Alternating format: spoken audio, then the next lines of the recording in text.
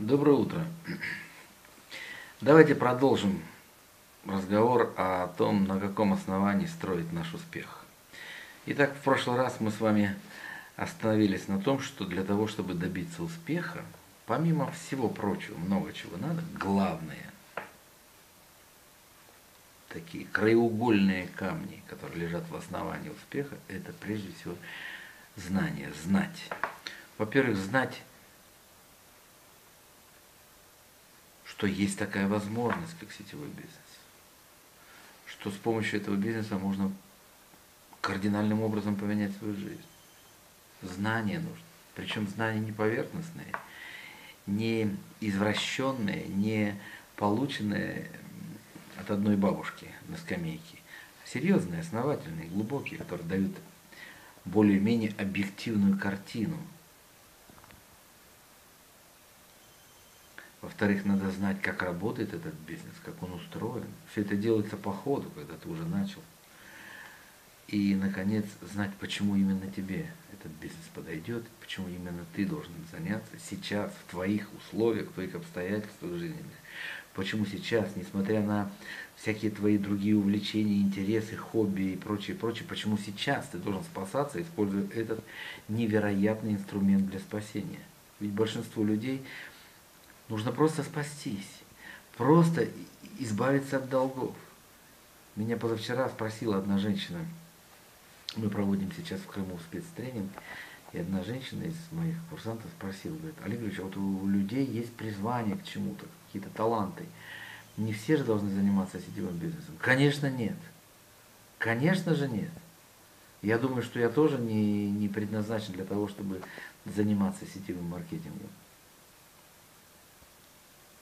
Но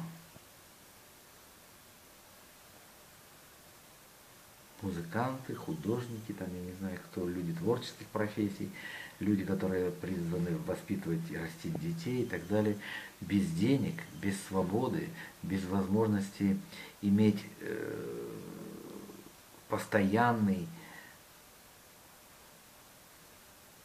пассивный доход. Страшно выговорить даже эти слова. Он просто не, часто ни на что не годен. Он не может реализоваться никак.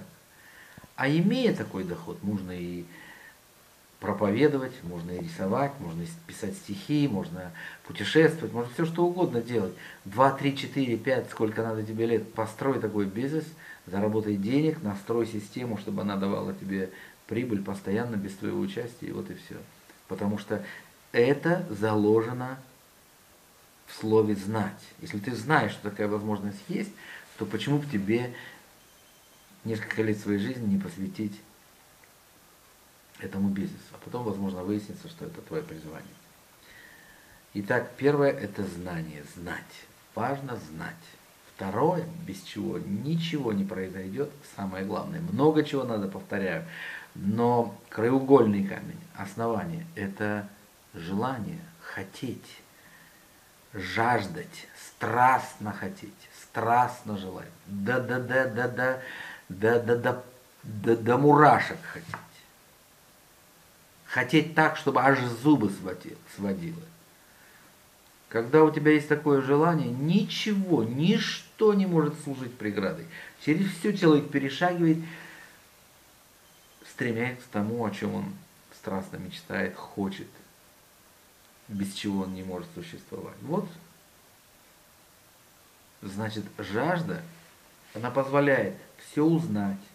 Жажда, желание заставить все выучить, заставить перестать лениться. Если человек хочет, слово лень отсутствует. Если человек хочет, слово лень отсутствует. Слово лень исчезает, если человек хочет по-настоящему. Вот ответ на вопрос. Олег Ильич, а как мне себя мотивировать? Олег Григорьевич, а как мне вот убить свою лень? Олег Григорьевич, а как мне свою задницу поднять и начать что-нибудь делать? Олег Григорьевич, помотивируйте меня, спонсор, давай скажи мне какие-нибудь слова, чтобы я начал. А я вот никак не могу начать. Причина одна, нету желания. Как правило, все слова, которые я сейчас произношу, в интернете, в литературе, на тренингах, на всяких разных семинарах произнесены уже миллиарды раз. Они затерты до дыр. Их страшно говорить. Но тем не менее это истина. Если человек хочет, преград нет. Все эти байки про то, как человек хочет в туалет, ему надо помочиться, извини за выражение, а он находится в неподходящих условиях, то надежд на то, что рассосется никаких, это понятно. И поэтому человек ищет, ищет. Его стремление, его желание настолько сильное, что он все равно найдет. Он все равно найдет возможность удовлетворить свою потребность, свою нужду. Это уже об этом даже говорить, говорить как-то неловко. Но довести свое желание до желания преуспеть в этом бизнесе вот до такого, когда ничто тебя не может остановить, когда ты не просто знаешь, э, хочешь, ты просто знаешь, что ты все равно добьешься, потому что ты так хочешь, у тебя такая внутри жажда, такой огонь, такой энтузиазм, такая страсть в тебе кипит, потому что ты хочешь, хочешь. Поэтому тебе пополам все равно, кто что говорит, кто что думает, кто как реагирует, почему они подписываются, другие не подписываются, хотят, не хотят, верят, не верят. Тебе все равно, все равно, у тебя должна быть жажда. Вопрос только, где ее взять, эту жажду, где взять это желание, как его в себе возгреть. И вот он ответ. Этот ответ пришелся мне, э, пришел ко мне не сразу, в результате длительного практического опыта.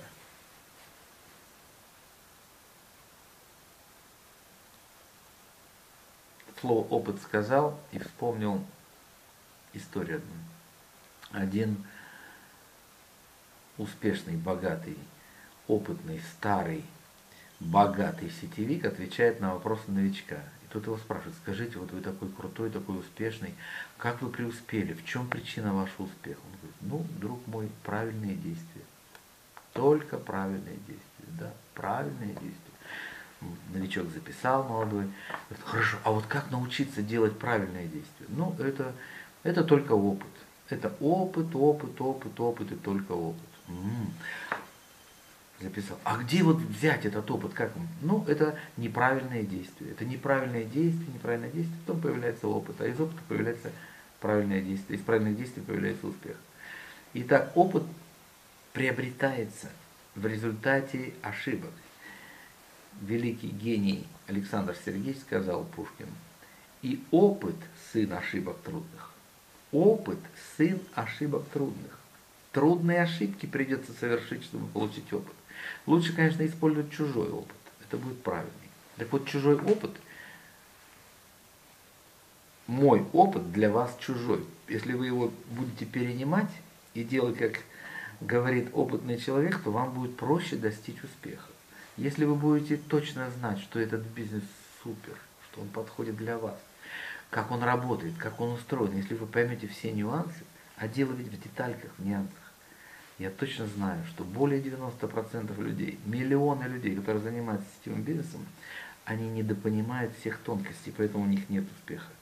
Они на слово «знать», на этот глагол «знать», не имеют ответа. Они думают, что они знают, а на самом деле не заблуждают. Вот в одном из следующих роликов, через один, я постараюсь вам сказать, что же за главный секрет. Так вот, вернемся к слову «хотеть», «жаждать», «хотеть», «хотеть», «хотеть», «хотеть». Чтобы хотеть, надо захотеть. Хотеть. А как захотеть? А оно само не падает, это желание.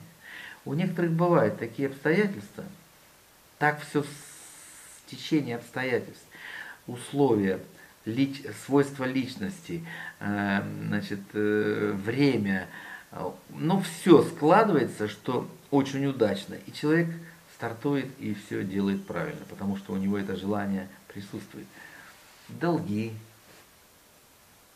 Как я помню, один говорил, в 96 году, когда я только вступил, он в компанию Гербалайф приехал, рассказывал историю свою, говорит, я ну, время бандитское было, 90-е годы, и он говорит, я занял в 94 году 4-5 тысяч долларов у, для того, чтобы начать бизнес в компании Гербалайф у бандитов под 65% в месяц.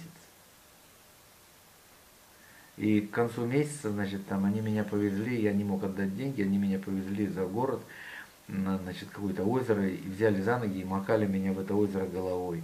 обещает меня, требует меня обещания, что я деньги отдам.